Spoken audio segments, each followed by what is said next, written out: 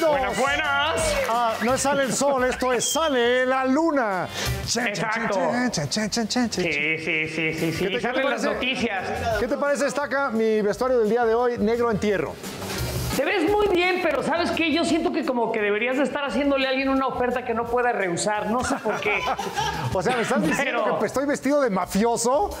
Un poquito, un poquito nada más. Hay que reunir a las familias. güey. o sea, sí te ves medio acá. Hermano, hermano, vamos a empezar entonces con la información. Exacto. Seguramente usted que nos ve se acuerda de la que fuera la mayor eh, diva de Hollywood, el máximo símbolo sexual, Marilyn Monroe. Sí, claro. Sí, cómo olvidarla, ¿no? Bueno. ¿No Lin May? No, no era Lin May, hasta donde entiendo. Marilyn Monroe, ok, en va. segundo lugar está Lin May, pero bueno, Lin Marilyn May, Monroe usaba solamente cinco gotas de Chanel número 5 para dormir. Ah, qué sexy. Y Juan Gabriel usaba siete gotas de siete machos para, Para dormir para lo también. mismo, para lo mismo. Ahora, ¿qué sí, se sí. imagina usted que utiliza Maribel Guardia para dormir? Pues no se lo pregunte más. Ahora lo sabemos gracias a Albertano, ¿neta? La señora Maribel Guardia dormía con unos calzones de su marido hasta que se llegaron a agujerear.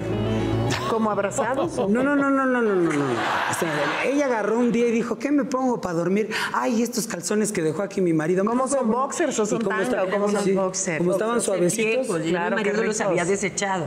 Los entonces puso. yo me los puse y dije, ¿qué es esto tan delicioso? Pero ya eran muy viejos. Pero se convirtieron en mis favoritos y ya mi marido me decía, oye Maribel, es que de verdad, no te puedes poner algo más sexy. No, y son mis calzones favoritos hasta que se le empezaron a hacer huecos de como uno en medio del trasero así. Y yo no se lo cosí porque se sentía sabroso. ¡Ah! Ándale, fuertes declaraciones hermosas. Pero espérate, un día de plano dije, no, si Muy los voy a tirar, pobrecito mi marido, los hice un rollito. Casi lloré por mis calzones, los tiro al basurero. Y la empleada, donde los vio en el basurero, los agarró, los lavó y me los volvió. ¡Ah!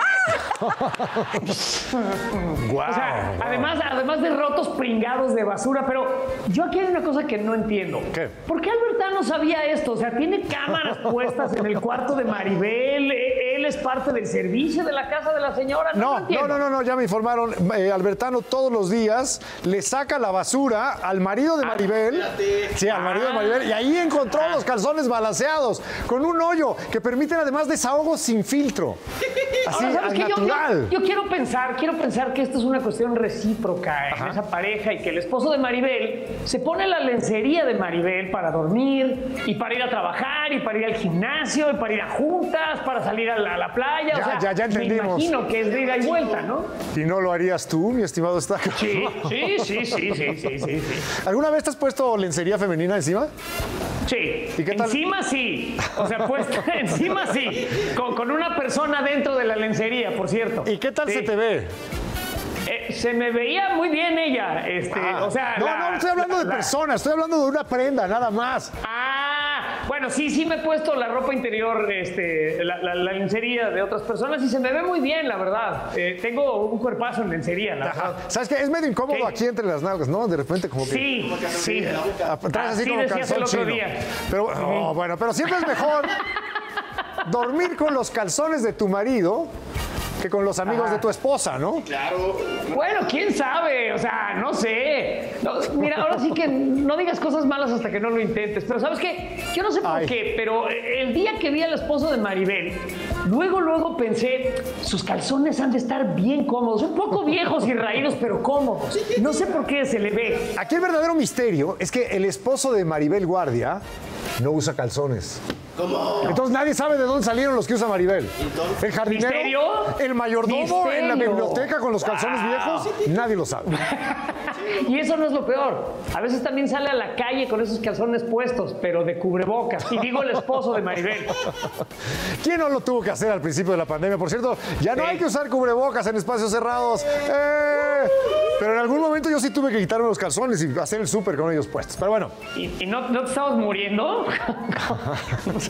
Sea, sufrí cañón. Está terrible. No, ya está. Además, güey, estaba en Acapulco y hacía un calorón No. de miedo. No, no, no. Pero bueno, de hecho a los calzones del esposo de Maribel ya los llaman los calzones Gruyère. por el tema de los hoyos, no, por el olor. Ahora digo, ¿Qué, qué, aceptemos qué? ya que Maribel es la única mujer en el mundo que se ve increíblemente sexy, incluso con calzones de hombre todos balaseados. O sea, es Maribel Guardia. ¿Cuál es el problema? Se puede poner lo que quiera. Claro. Ahora, muy mal por la señora que los lavó, ¿no? Hizo que perdieran como 80% de su valor. Así ya Yo que. me, yo me pregunto, me pregunto si esos calzones traerán sello. Espérate. De garantía, de que sí Espérate. son, de que sí provienen de la casa de Maribel y de su Ah, esposo. ah, ah, ah, eso, O eso sea, es otra ¿alguien cosa. puede constatar eso? Pero bueno, me dejemos ese güey. tema y ahora hablemos de una mujer cuyo nombre es el antónimo del erotismo y la sensualidad, Wow. ¿no? Pero sobre todo eh, del profesionalismo y nos referimos a Shanik Berman, que Espérate. hizo esto en televisión en su programa y, y no sé si es una lección de, de sororidad eh, y, y del buen teatro, el buen trato, perdón, a su colaboradora o qué. Mira nada más qué linda es Shanik con la gente que trabaja con ella. Se quedó sin opciones. O sea, una, una vez que... el- ¿Qué traes en la boca? tengo algo que me están arreglando aquí y te- y traigo como. Me pusieron un paladar abajo, un frenillo, mientras se me terminan de enderezar un poquito los dientes. Ah, muy bien. Sí, Ah, estoy en pero ese sí se proceso. puede quitar al aire, ¿no? No, no me lo puedo quitar. Tengo que durar una semana con él. Por eso me escuchan hablando así rarito. Hay que hacer un esfuerzo con un lápiz. Así es. Bueno, Así es. Rina, ¿qué pasó con Verónica Castro? Pues me habías también comentado que te dijera primero de Marisol. ¿De no, quién no, no, no. ¿Qué pasó con Verónica Castro? Ok, te cuento sobre Verónica ¿Leíste Castro. la nota? Sí, la leí. Si no, bueno. si No, aquí la tengo. O sea, eh, No quiero que la leas. Quiero que nos resuma. Quiere que se la resuman. Ok. Eh, ahora sí, mi querida Enrina, ¿qué pasó con María Cel? Pues bueno, María Cel, eh, perdí la nota otra vez, mi, mi querida Shanique. Si quieres, pásala tú. No te acuerdas. ¡Tómala! Bueno, evidentemente Shanik fue muy criticada en redes porque según esto, pues se pasó, digamos, de, de- de presión hacia su compañera y la verdad es que, pues sí estoy de acuerdo, un poco, ¿no? No, hombre, nada más le hizo lo mismo que José Ramón Fernández le hace a David Faitelson todo el tiempo.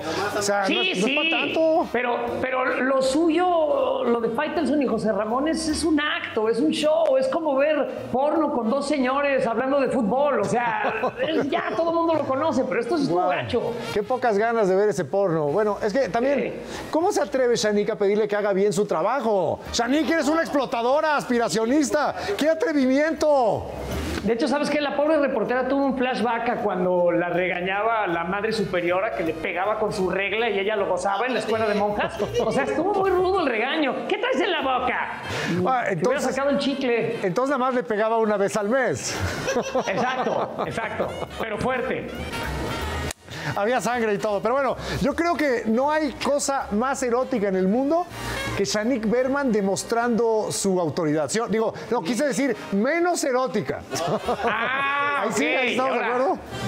Shanik, un consejo. No se le pregunta a la gente qué traes en la boca. Tienes que respetar las preferencias de los demás. O sea, eso, eso ya no va. Eso ya no se hace. Mira, Shanik, a la próxima nada más dile, tú no eres el vínculo de nada, sister. Y te la cacheteas. Así como hizo mi tocayo Yañez, mira. Y ya no me falta respeto. No te hace falta en ningún momento. Uy, uy, uy, uy, uy, uy, uy, No, qué sabroso. amor y Ahora, paz, amor y paz. yo creo que ni Josefa Ortiz de Pinero, la corregidora, corregía tanto como Shanik corrigió a la compañera reportera. Ortiz de Pinedo. Bueno, vayamos Ortiz a los de Pinedo, deportes. sí. La televisión deportiva está cambiando. Y es que pues no todos pueden tener la clase, elegancia y el porte de Pompilú y Javier Alarcón. Y como no pueden competir contra eso, entonces deciden recurrir a este tipo de cosas para llamar tristemente la atención, Álvaro Morales. Cuidado, cuidado, cuidado. Cuidado, cuidado, cuidado, cuidado. ¿Qué es, qué es eso? ¿Qué pasó, Pietra? ¿Qué pasó, Pietriña? Grábenlo, por favor, graben esta payasada. Todo porque eliminaron a Chivas. ¡Eliminaron a chivas! Mostrarle. Puta, que ahora se rompió los hijos. ¿Eran efectos de sonido? Guadalajara! No, es este güey. ¡Ay, qué maravilloso! De Aguilita, Es nada más. hacer televisión. Lo que, lo que me encanta es. Ya, ya, ya, ya, ya, ya. Ya, A ver, ya, ¿sabes ya, qué? ya. Que Álvaro, por lo visto, no le teme al ridículo. No, o sea, pero- ¿te imaginas que si le hiciera, no sé, Javier Alarcón a Pablo Carrillo? No, pero si se sube Pablo Carrillo a la mesa, no, la mesa no, no, no aguanta. No. olvídenlo. Tengo olvídenlo. entendido que este tipo de comportamientos de Álvaro son normales. Es- ¿Ven por es- qué no es buena idea meterse drogas media hora antes de ir al trabajo? Digo, nosotros somos profesionales, hay una diferencia. Claro, tenemos décadas manejando ese tema. Correcto. Ahora, la pose así sí estaba como rara, ¿no? Pero siento que sus manitas sí se podrían rentar. Exacto. Ahora, si hizo esto con Chivas, no me imagino lo que hizo cuando eliminaron a Pumas. No. Seguro se trepó desnudo al techo como mosca así. ¿No? Ay, imagínense cómo se va a poner ahora que descubra que Ricardo Monreal ya es corcholata oficial. Imagínense ustedes. Fue destapado. Al, igual, al igual que mi amigo Gerardo Fernández Noroña, a quien le mando un saludo Bueno, y una felicitación. Hablando de Gerardo Fernández Noroña, anda tan crecido con este asunto que si se le sale una flatulencia le evita, ¿eh? O sea, como ya lo reconocieron, como les dice Eduardo, como corcholata oficial, está empoderado con la nominación y hace este tipo de declaraciones incomprensibles y extrañas sobre el uso del cubrebocas. Y particularmente termino, me toca el nervio que haya niños menores de 6 años, niñas, la niñez, y que haya padres de familia que piensan que los protegen mucho sin darse cuenta que lo único que están haciendo es afectar el, desarrollo de sus pulmones y matándoles neuronas por traer ese bendito cubrebocas puesto. Ay, Así ay, es que ay, vuelvo ay, a hacer un llamado para que ya retiren y dejen en la decisión personalísima. Si alguien quiere salir con traje de astronauta, que se lo ponga, pero que respeten ya de una vez por todas en que estamos en la absoluta normalidad. Eso. Porque yo francamente no sé cómo le hacen para hacer el amor con cubrebocas y sana distancia. Ahí me pasa ¿Qué? La receta. Muchas gracias por su atención, compañeros y compañeras. Sana distancia, compañeros ¿Sabes qué? y Le, le- le- faltó salir con, con Bombini bastante. Mire, diputado, Ta, ta, ta, ta. ¿qué nunca ha oído hablar acerca de los cubrebocas de pene? Esos son para hacer el amor. Un bozalito así chiquito. látex. Oigan, por cierto, se metieron a robar a casa de Noroña, que lo lamentamos mucho, diputado. Lo bueno es que no se robaron su sentido del humor. Exacto. Ahora, ¿no será que Noroña siempre ve a la gente a su alrededor con cubrebocas y que eso más tiene que ver con un asunto de humor personal? Ah, de su aroma. ¿No será eso? Puede ser, puede ser, pero le voy a contar a Noroña. ¿Cómo se hace el amor así con sana distancia? El delisucho con sana distancia se llama de perrito. Me extraña, me extraña que siendo araña no conozca esa maña, diputado Naraña. Digo, no, Noroña, pues. O, o Loroña. Loroña, como le dicen. Oigan, y otro que anda así, bueno, henchido como pavo reales, nada más y nada menos que Richie Mon Ricardo Monreal, porque también a él lo hicieron corcholata oficial. Fue mencionado en la mañanera y todo, como corcholata, y esto trae al Zacatecano tan contento que hasta canta de felicidad. Poco a poco me voy acercando a ti. ¡Ay, ay, y lo mencionaron corcholateable poquitito después de que pasó lo de la Guardia Nacional en el Senado. ¡Qué coincidencia, ¿no? ¡Qué suerte, no! Sí, a lo mejor anda muy contento. A lo mejor anda contento Ricardo Monreal porque ya terminó de llenar su álbum del Mundial y ya tiene a Messi. A lo mejor es eso. ¡Qué ¿no? envidia! Yo no tengo a Messi todavía. Pero bueno, lo bueno es que si no es presidente, Ricardo se puede dedicar al género vernáculo, porque canta con el corazón. Exacto, exacto. Solo falta que lleve serenata para eso. Digo, ya para amarrar la corcholatez, ya para que quede Ahí, cincha. ahí al ¿no? balcón de, de Palacio. Sí, sí, sal al poco. balcón. Eh, Me voy acercando a ¿cómo ti. va la canción? Poco a poco Ajá. me voy acercando. Ya, ya, ya. Pero pobre Ricardo, no había, no ha comido tamal de chipilín, ni chanchamito en Palacio desde hace años. Pues fíjate, yo, yo digo que si su campaña va a ser tan buena como ese palomazo, ya la super armó Marcelo Ebrard. ya. Ah, no le salió tan mal. Pero bueno, Loroña contra Monreal. No sé en política, pero a mí me gustaría ver esto en la triple A.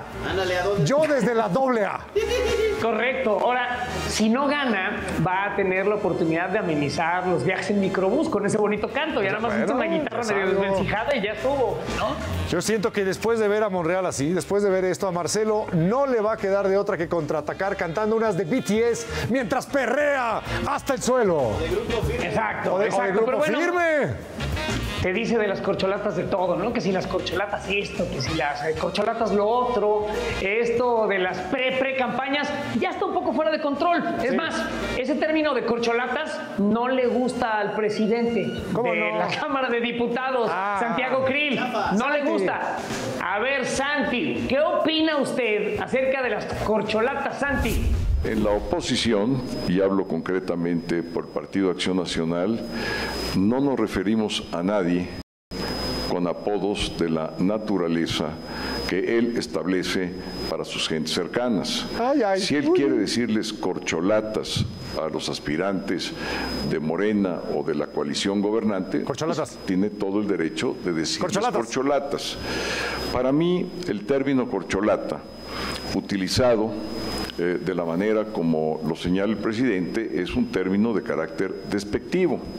Y además, una corcholata, cuando se destapa, porque la idea es de un destape, de quienes son los aspirantes, en primer lugar, lo que se hace con una corcholata que es, que es objeto de un destape, se tira a la basura.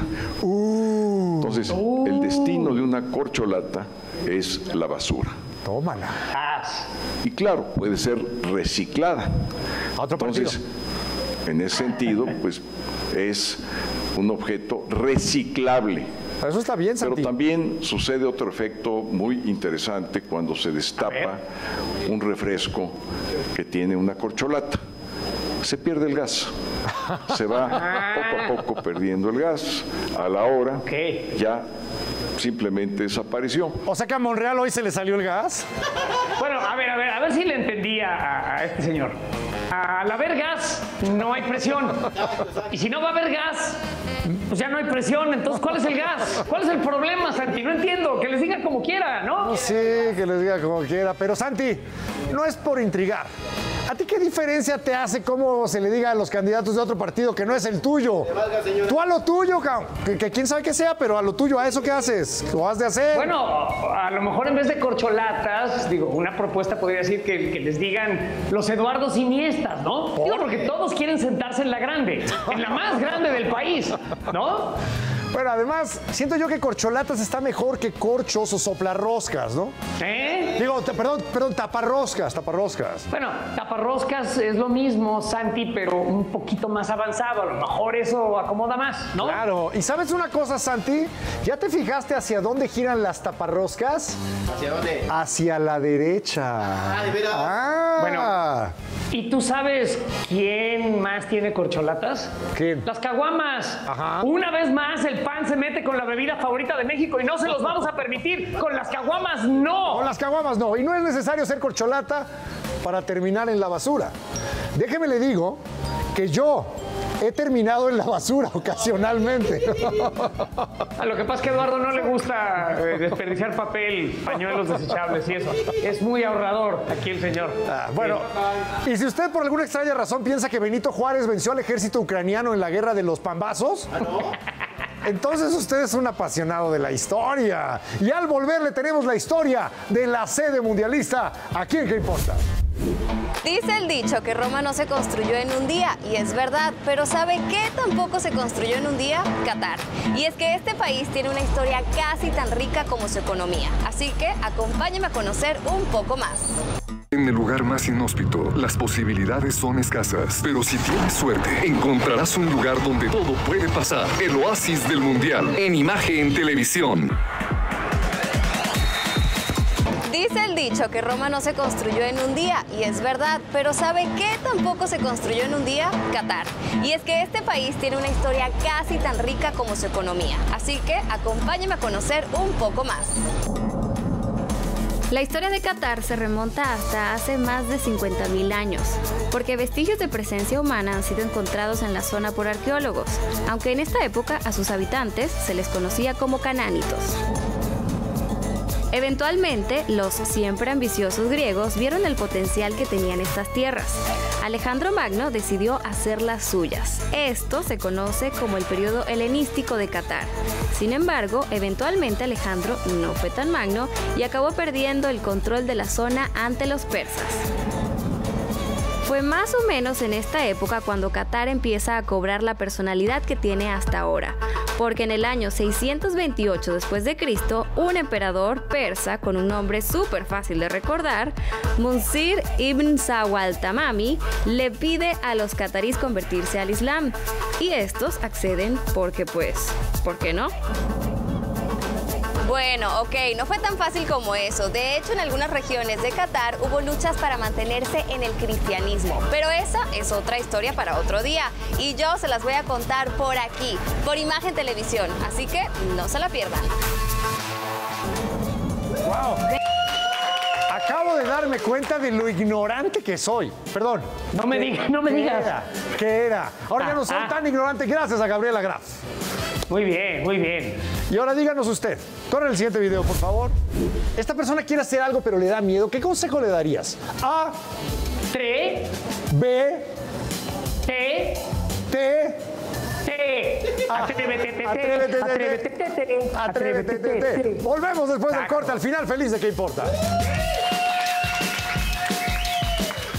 Esto es Gruner. Está científicamente. Mucho se habla de que el mejor amigo del hombre es el perro, pero poco se habla de su peor enemigo, el SAT. Y, y no nada más el SAT, los columpios. Mire. ¡Oh!